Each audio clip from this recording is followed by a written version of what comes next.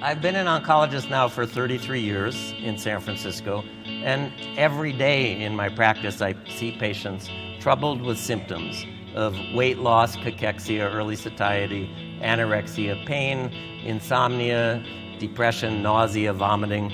One medicine can actually deal with all of those symptoms. Cannabis is not, in fact, a panacea. It's a wonderful, wonderful drug that does a lot of different things and has tremendous possibilities and promise with more research, and we'll find out more and more about it. And we have seen fantastic results with it.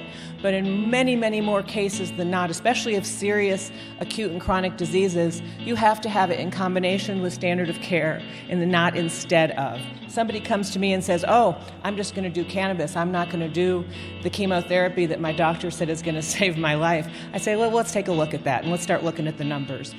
We've talked about cannabis as a treatment and a lot of different approaches to it and the efficacy of it, and that's really important. The work that I've done as a pain management psychologist is focused more on what exactly are the pain generators, what's going on in not only chronic pain but chronic medical conditions. We treat not only people with chronic pain but Parkinson's, MS, all kinds of other medical conditions. So, what I'm going to say today actually applies to all of it.